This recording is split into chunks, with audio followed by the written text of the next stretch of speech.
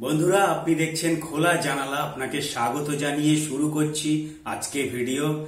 হ্যাঁ বন্ধু মধুমেহ রোগ, ডায়াবেটিস। আপনারা রোগটি সম্বন্ধে সবাই জানেন। এই রোগটি কিন্তু একবার যদি কারুর ধরে যায়, সহজে বা একেবারে কিন্তু সারে না।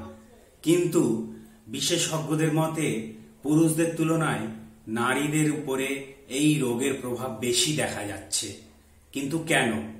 চলুন দেখে নিই কেন আজকালকার সময়ে পুরুষদের তুলনায় নারীদের উপরে মধুমেহ বা ডায়াবেটিস রোগের লক্ষণ বেশি দেখা যাচ্ছে।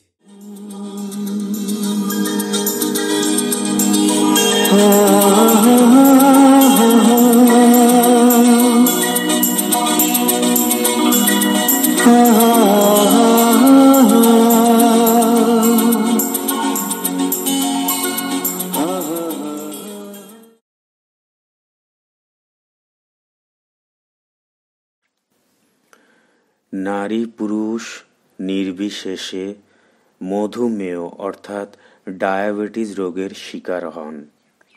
কিন্তু বিশেষজ্ঞরা জানাচ্ছেন, পুরুষদের তুলনায় মহিলাদের উপর মধুমেহ রোগের প্রভাব মারাত্মক আকারে পড়ে। মধুমেহ রোগে মৃত্যুর ঝুঁকিও বেশি থাকে মহিলাদের মধ্যেই। এছাড়াও মধুমেহ রোগের কারণে মহিলারা হৃদরোগ, কিডনির সমস্যা, অন্ধত্ব এবং অবসাদে আক্রান্ত হন বলে মত তাঁদের। এমনকি এই রোগের কারণে তাদের মধ্যে বন্ধত্ব পর্যন্ত দেখা দেয়। বিশেষজ্ঞরা জানাচ্ছেন, স্বাস্থ্যকর লাইফস্টাইল এবং স্বাস্থ্যকর খাদ্যাভ্যাস মেনে রক্তে শর্করার মাত্রা বজায় রাখা অত্যন্ত জরুরি মহিলাদের জন্য। এর পাশাপাশি নিয়মিত শরীরচর্চা করাও খুবই প্রয়োজনীয়।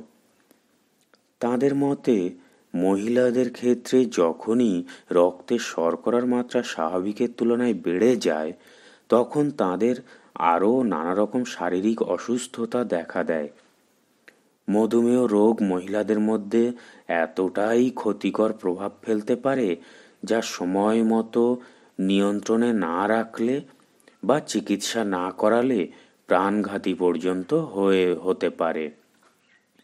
হার্ট অ্যাটাক থেকে অন্ধত্ব কিংবা অবসাদ পুরুষের তুলনায় মহিলাদের মধ্যে বেশি মাত্রায় ক্ষতিকর প্রভাব ফেলে মধুমেহ। স্বাস্থ্য বিশেষজ্ঞরা আরও জানাচ্ছেন, মধুমেহ রোগ মহিলাদের হৃদরোগে আক্রান্ত হওয়ার ঝুঁকি আরও খানিকটা বাড়িয়ে দেয়। হার্ট অ্যাটাক, স্ট্রোকের ঝুঁকি বেড়ে যায় এর ফলে। এছাড়াও মহিলাদের মধ্যে কিডনির সমস্যায় অবসাদ অন্ধত্ব এমনকি বন্ধত্ব পর্যন্ত দেখা দিতে পারে মধুমেহ রোগের ফলে। কীভাবে রক্তে শর্করার মাত্রা বজায় রাখবেন তারও পরামর্শ দিচ্ছেন বিশেষজ্ঞরা। বিশেষজ্ঞদের মতে, মধুমেহ রোগ কখনো একেবারে সেরে যাওয়ার অসুখ নয়। এই রোগ একবার দেখা দিলে তা চিরকাল থেকে যায়। কিন্তু এর মধ্যেই রক্তে শর্করার মাত্রা বজায় রাখা সম্ভব। তার জন্য নিয়মিত টাটকা ফল, সবজি শস্য দানা খাওয়া দরকার।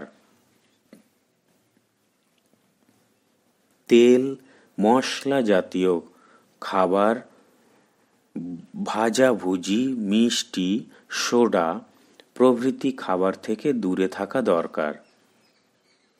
নিয়মিত শরীর চর্চা করলে রক্তে শর্করার মাত্রা বজায় থাকে।